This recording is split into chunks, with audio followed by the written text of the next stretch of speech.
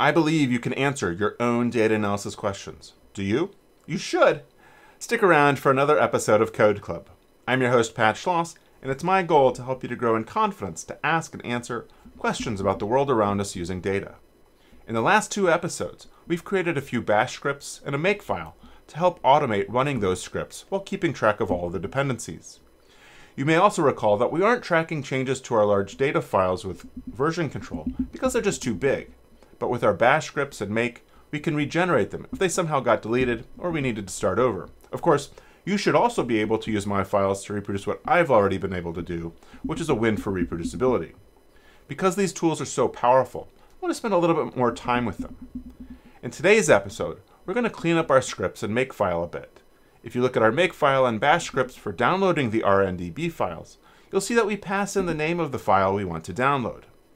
Well, we didn't include the path indicating where it should go once it's extracted.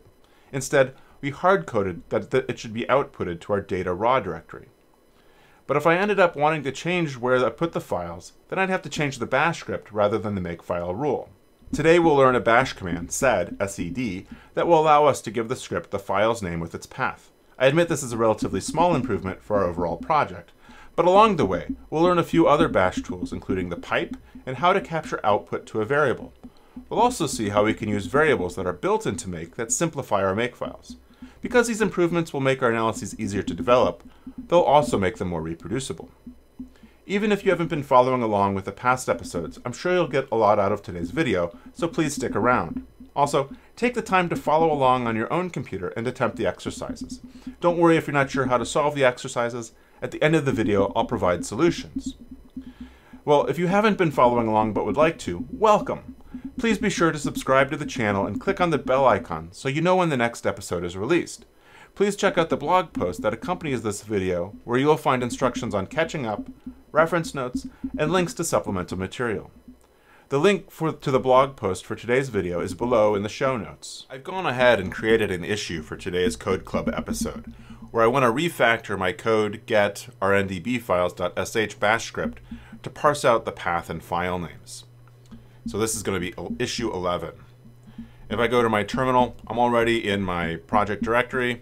Again, I have this in my uh, documents directory, uh, Schloss RN Analysis uh, XXX 2020. Uh, it doesn't matter where you put it, as long as you know where it is. All right, uh, ls, I see my files here. Just to clean things up a little bit, I'm going to go ahead and get rid of those mothur log files that I uh, told you before. Store the output of running that align.seqs command that was in the one shell script we created. Um, I'll do git status, see that everything is up to um, up to date with origin master. That's GitHub. Uh, there's nothing to commit. My tree is clean. I want to go ahead and create a branch for today's issue, issue 11. So I'll do git branch, issue underscore 11, git checkout, issue 11, switch to branch issue 11, get status, we're all good. I'll go ahead and open up Atom in my terminal. And let me open up my make file as well as my get rndb files script. So what you'll notice in the makefile rules that I have here for getting those, uh, I guess there's four RNDB files, is that I call the shell script and then I give it the file that I want to um, be sure to download and extract. And you'll see that instead of giving the full path, so there's no data raw here, it starts with the RNDB and goes through the rest of the file name. What I'd like to be able to do is say something like this right? I would I'd rather not have to worry about whether or not to include the path. I'm going to go ahead and save that for now uh, because that'll be a good test case for what we're trying to do. And if I go to my get rndb files, we see that we read it in as an archive and we then use wget to download the archive to data raw and we then unzip it, unzip that archive uh, that was in data raw with a zip, and we extract it back to data raw. And we talked about this in previous episodes where we talked about wget, zip, and tar. Uh, we then touch it because the files that were extracted uh, have a very old timestamp from when they were created uh, on whatever computer generated them versus um, the timestamp for like when I'm actually generating them or downloading them and extracting them. What, so what I'd like to be able to do again is to take in the target name, take in the, the, the full path and pull out the path as well as the file name. So I could perhaps put a path variable here and here, uh, put in the variable name here, and then perhaps extract the file name uh, like we have here for archive and put it there. And then I could again replace that with uh, the full path. To illustrate a few concepts with sed and these other bash commands we're going to work through today, I'm going to create a variable target, which will be data raw rndb 16s rna.fasta. And again, I can see the value of target by doing echo dollar sign target. The general idiom or the general way of writing a, uh, a sed command, and sed is the stream editor, which will allow us to do operations like find and replace. So if you've ever used Microsoft Word and you've gone through and you've found one word and replaced it with something else, uh, in command line in bash you can do that with sed. Basically every programming language including bash has some way to do this operation and i find it really powerful um, as a way to work with file names. The general way to do this is echo dollar sign variable name variable and then a vertical line and i'll come back and tell you what everything does here. Sed quote s forward slash find forward slash replace, my curls across my screen, forward slash close quote. And what this does is this will output the value of my variable, right? Kind of like we did here with echo target. So it output that. And that vertical line, which is the above the backslash, uh, so shift backslash, and the backslash is right above your return or enter key on your keyboard. That vertical line is a pipe. Uh, it's nice that it's a straight line. Uh, looks like a pipe. So we pipe the output from echo into sed. And again, you think of pipe like flowing water. And it goes into sed. And then with sed, you have the quote marks and you have S, and S is short for search. And then you have these forward slashes separating out find and replace values. And so what we want to find, we put in find, and what we want to replace that with, we put where the replace is. And then we end it with that final um, forward slash and the closing quotes. Okay, so this won't work because, um, well, it at least doesn't give me an error, but there's no variable called variable. So if we think about target, if I do echo dollar sign target, sed s forward slash raw forward slash, um, I've talked about this a few times. I won't do it here, but maybe we would rather have the raw directory stored as rndb, and then forward slash closing quote, and run that. And we see that our path name has gone from data raw rndb to data rndb forward slash rndb. Okay, so we took the word raw and we replaced it with rndb. What if I wanted to change the data raw part? That's got a forward slash in there. That could be kind of confusing. So echo dollar sign target, sed s data forward slash raw forward slash um, rndb forward slash close quote. And so this will throw an error um, because it doesn't know what to make of that because I've got a forward slash in my search term. So what I'm going to do is I'm going to put a backslash before that forward slash and uh, that's called an escape character. And so that means actually match a forward slash. So we run that, everything is good.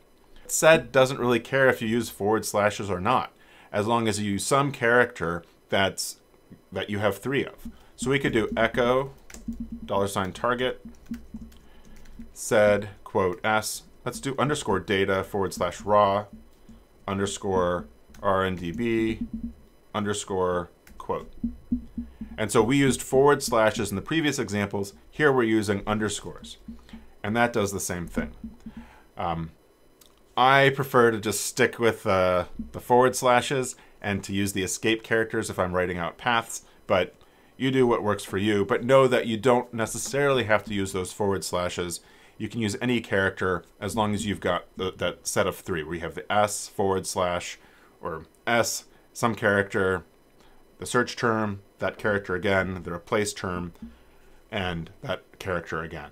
Again, let's think about what we're trying to do here with parsing out the path name as well as the file name separate from that, and how we can take what we've already talked about with sed and apply it to our target variable here to get those two different elements. And so what we'll end up doing is two different sed functions on separate lines of code. But we want to think about how we can adapt what we've already done here to generate those values.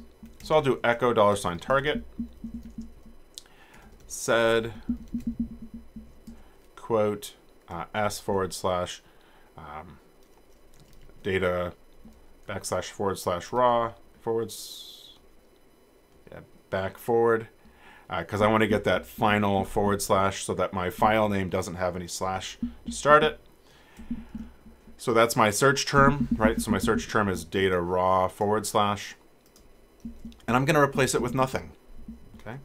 So the two forward slashes means replace it with nothing. And so we run that.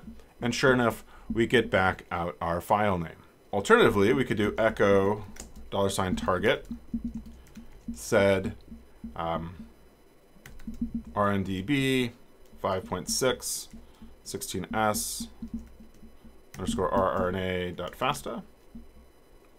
Oh, but I forgot my S, my forward slash. And then I'll replace that with nothing. Okay, and close quote. Run that, and then we get our path. So one of the problems with these last two sed functions, sed calls, was that um, they're very specific, right? Um, and what I'm trying to do here is be more general. And what we can do is with this first one is we can replace it with what are called meta characters.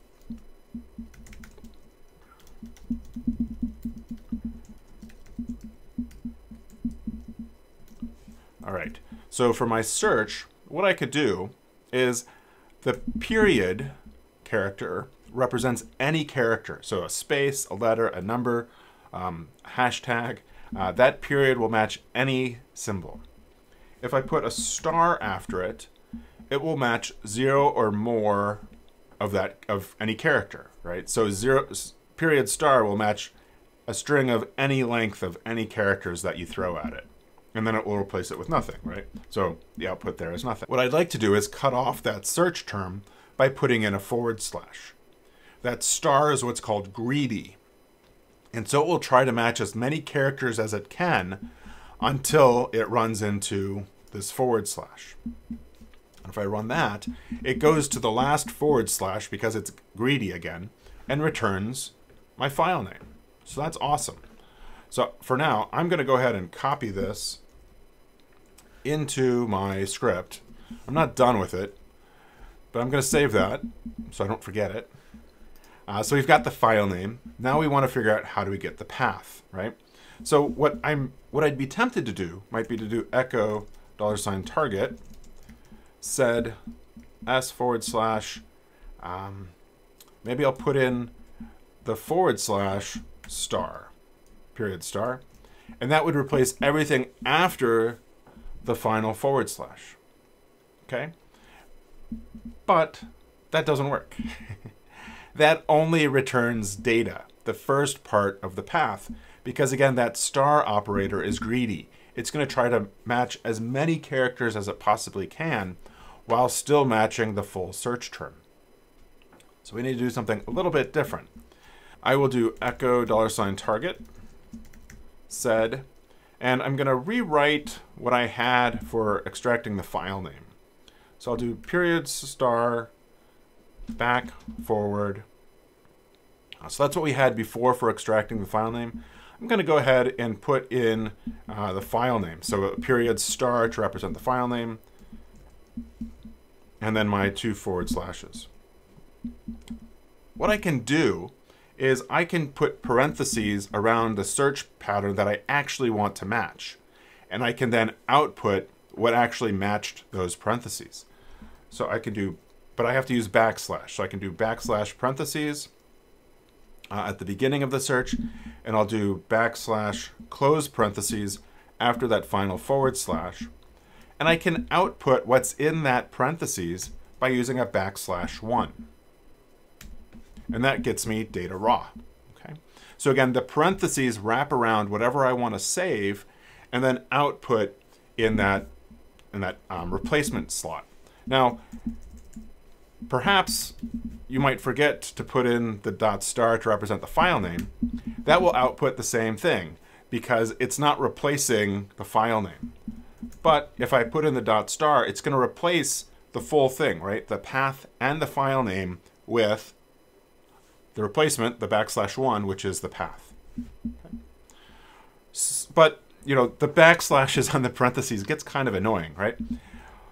There's a special flag that we can use then that makes it so we don't have to use the backslashes on the parentheses.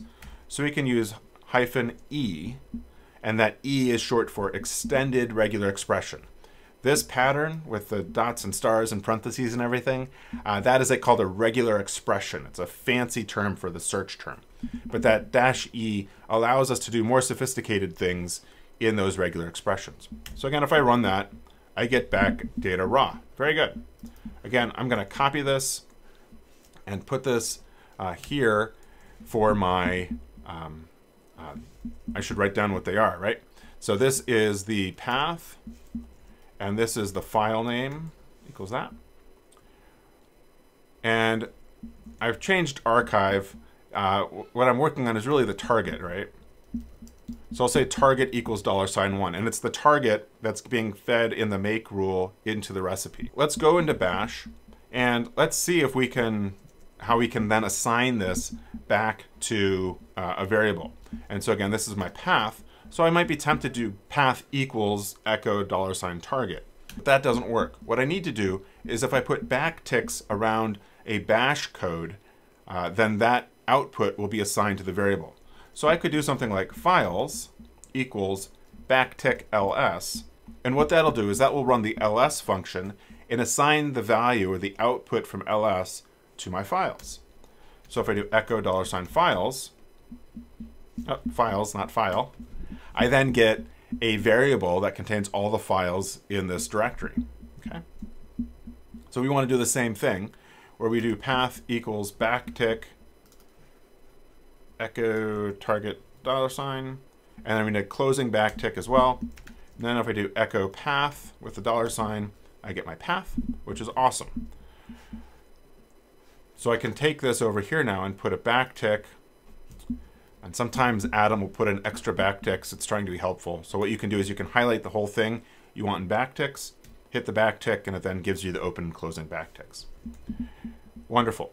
Uh, to test this, I'm going to go ahead and comment out these lines. And I'll do echo dollar sign file name, echo dollar sign path. Save that. And my make file, I've already put the target where the file name had been. So I can do make space my target, and it then outputs my file name as well as my path. So it worked inside of my bash script. I'm very happy. Now, I, I actually want to use these things and I don't want to echo them. So I'll go ahead and uncomment these lines. And now I need to replace the values I have in here with my file name and my path. So this is going to be dollar sign path. Wherever I see data raw on its own, I'm going to replace with dollar sign path. I'm going to leave these here because this is my target, right? So dollar sign target. And then this is going to be dollar sign target dot zip. And um, as we talked about before, it's probably best to wrap these in quotes in case there happened to be a space in my target file name. I know there isn't, but to be careful. And then this dollar sign archive, I'm going to replace with um, file name. And I think I've updated everything. So I'll go ahead and save that. I'll come back uh, to my terminal and I'm going to go ahead, I'm going to remove uh, that target and then make it again to make sure everything works. Very good. And we see that uh, it was just updated and just processed. So that worked wonderfully. Looking at our make file now, one thing stands out to me uh, is that I've got a little bit of repeated code. This is not a big deal. Uh, but make has some things built into it called automatic variables. And I'm going to talk to you about one automatic variable now, and in the exercises you'll learn about two others. So automatic variables are nice, but as we've already seen, you can get a, a, decent ways with make without having to worry about automatic variables. So if automatic variables are confusing to you, don't worry about it. They're there to make your life easier, not to confuse you. What we can do is there's an automatic variable called dollar sign at. Okay, so dollar sign at is the same thing as the target value for the rule. So I can use that dollar sign at wherever I have the target. Right? So this also now, because I've updated the same script that this calls, I can update all of these to have dollar sign ats on them. And wherever make sees dollar sign at, it will use the target name in place there. I'll save that and I'll go ahead and generate this other target. And it should run because I've updated my script that it uses as a prerequisite. And it runs that. And if I again lslth data raw, uh, I see that, yep, sure enough, that file's there as well. And I'll go ahead and I'll generate these other targets.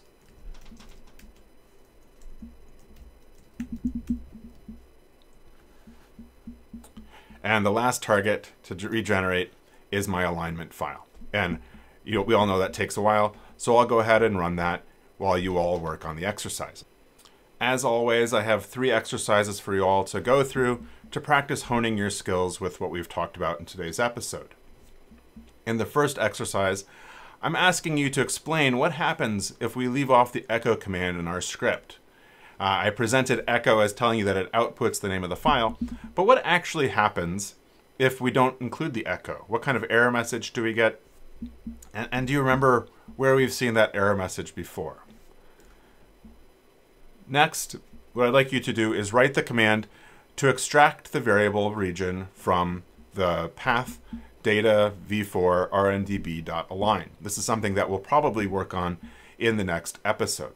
How would I get that v4 to be its own variable? And I'd like you to save it to a variable named region. Try to make your regular expression as general as you can. Uh, the starting place is to be specific, right? To say, let's match data, remove data, match RNDB align, remove that but see if you can make it as general as possible. In the third exercise, what I'd like you to do uh, is to look more at these automatic variables. So we have already seen that the dollar sign at represents the target name in, and then uses that in the recipes of our makefile for that rule.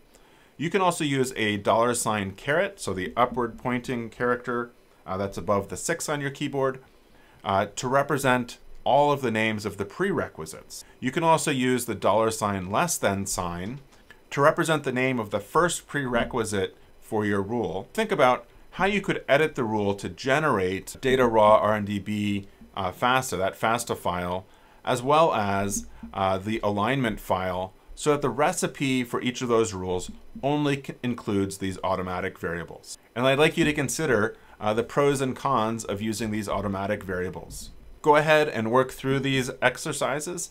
Uh, pause the video to give yourself enough time. And then once you're done with them, go ahead and press the play button and I'll show you how I work through the solutions. Well, I hope you found those exercises engaging and helped you to stretch your brain muscles a little bit to hone your skills on the new material from this episode. For the first exercise, again using our target variable, I asked you to run this bash command and then assign the output to the path variable you'll recall that previously we had echo here before target. And so the question is, uh, what does this error mean? What does permission denied mean? Well, uh, we saw this when we were talking about bash commands and bash scripts uh, two episodes ago. And what it's trying to do is it's trying to run the command uh, represented by target. So it's trying to run this file as a executable. But if we do ls-lth on that file, we see that we only have read-write permissions for that. It's not executable, okay? So it can't execute it. And again, what it's trying to do is execute that file, and then with the output of running that file, run sed on it. But because it can't execute it, it complains and it just crashes out. Now, you know, if, if somebody was running this code and running into this problem, one thing I could foresee that they're trying to do is to run sed on the contents of a file. That's not something we talked about, um, and it's not something I do a whole lot, but what we could do would be to do, say, sed hyphen e, quote s forward slash, and then the parentheses, um,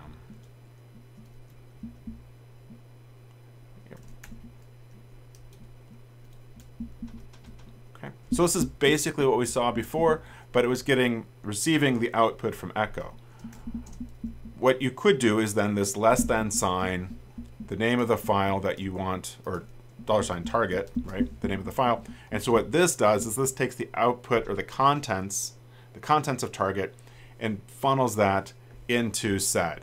And so that less than sign I kind of think of as a as a as an arrow operator, right? And so you run that, and I forgot my closing quote, so I'll put that in. It's going to complain. Ah, so I'll put my closing quote there and get rid of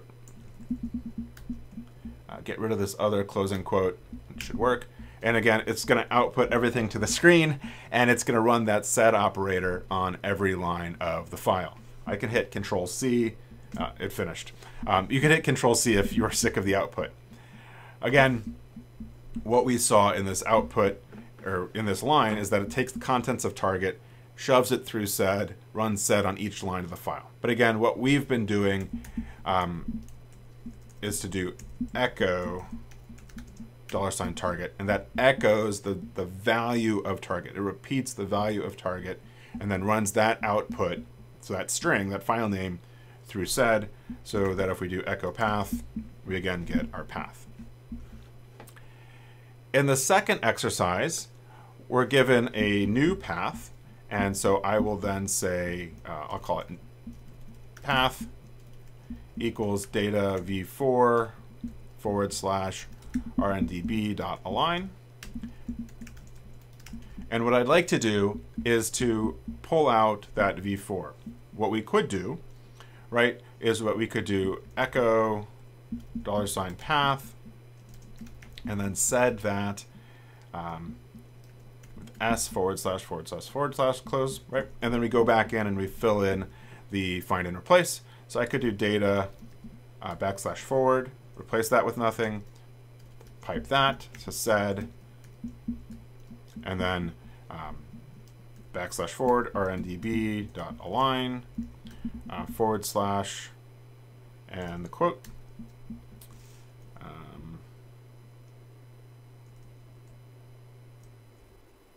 uh, and I forgot an extra forward slash, and that returns v4, right? But again, that's very specific. Uh, we'd like to have a simpler way that's perhaps more generalizable to other paths we might get. So I could do echo path,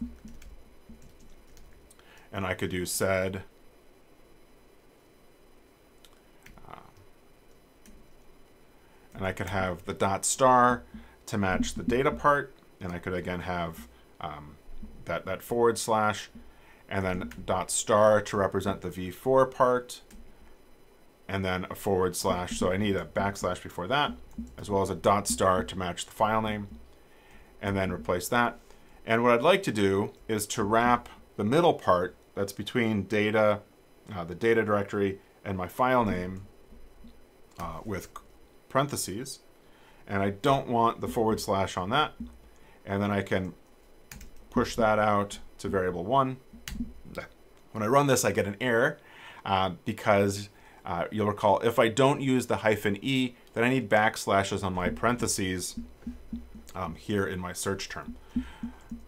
Again, what I can do is dash E, and that works, and the output then is V4. So hopefully you found that uh, a little bit challenging to practice working with uh, using sed to parse paths to get useful information out of that. And we'll definitely see that again in a future episode. Because what we're going to want to do is perhaps look at how amplicon sequence variants and their performance behaves for different variable regions of the 16S gene. And so maybe I'll put uh, alignments for different regions into different directories, and I'll want to be able to pull out that region uh, to know what region we're looking at. Finally, asked you to look at using these automatic variables to get um, to simplify the text a little bit. In the example that we've been working with for the RNDB FASTA file, uh, the first prerequisite is the only prerequisite. So we can replace its name here with a dollar sign less than sign. And uh, you'll notice that I don't have the period forward slash, and it actually turns out that we don't need the period forward slash when we are calling our shell scripts if they're executable um, and if they're in a different directory. So if they're in my current working directory, I need the period forward slash. But if they're in a different directory, I can put in code forward slash, right? So it clearly works if you leave it in. It also works if you leave it off. But I'll save this, and then I will go to do make, uh, I'll remove that target, make n to see what it looks like, and we see, sure enough, it puts in the shell script as well as the FASTA file. And if I then run that, everything works swimmingly. Uh, another example of where this comes up uh, and is a little bit harder uh, is in this example for generating the alignment. You'll notice that the first prerequisite is the uh, reference alignment, but my third prerequisite is the script that's actually running this. So if I want this to be dollar sign less than, I get the two confused all the time.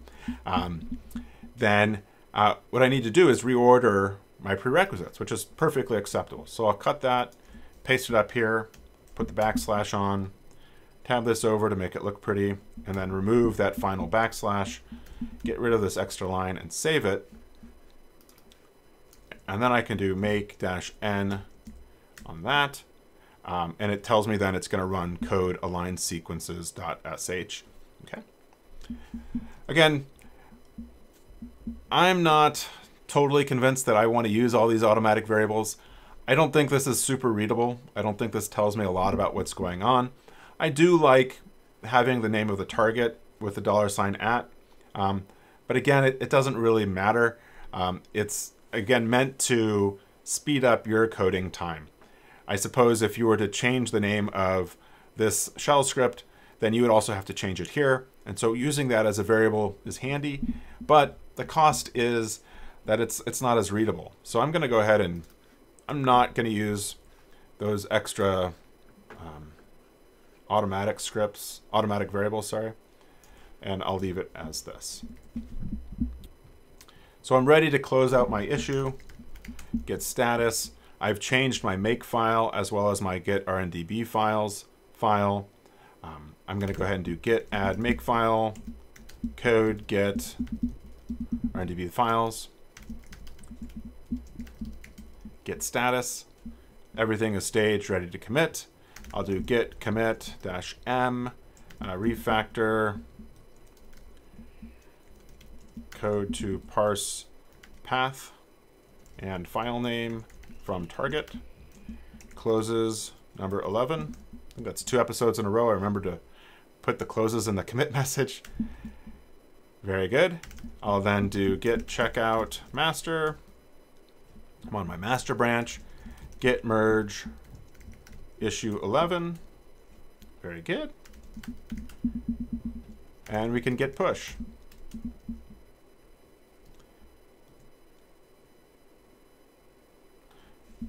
And we see that the issue has been closed. Thanks again for joining me for today's episode of Code Club. Be sure that you spend time going through the exercises on your own to help reinforce your new skills. Even better would be for you to take the ideas we've worked through today and think about how they relate to your current projects. In the blog post for today's episode is a link to a great tutorial on using SED. Whenever I Google something about SED, I invariably return to that page. I'd really encourage you to work through that tutorial if you have the time. I'd love to see how you are adapting what I've covered in this and other Code Club episodes into your own work. Also, please let me know what types of data analysis questions you have, and I'll do my best to answer them in a future episode. Be sure to tell your friends about Code Club, to like this video, subscribe to the Riffomonas channel, and click on the bell so you know when the next Code Club video drops. Keep practicing, and I'll see you next time for another episode of Code Club.